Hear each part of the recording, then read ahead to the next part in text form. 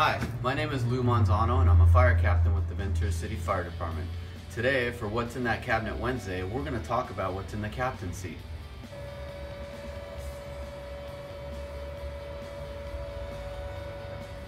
In the captain's seat, we have various tools that allow us to communicate. We have handheld radios, we have mobile radios, and we also have our mobile data computer system that is hooked to the GPS, which is going to allow us to get to the call quickly. In addition to that, it also allows me to read the information that the dispatcher is gathering from the caller.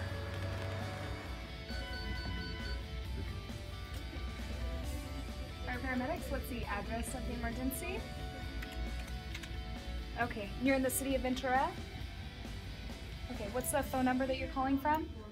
That concludes this edition of What's in That Cabinet Wednesday.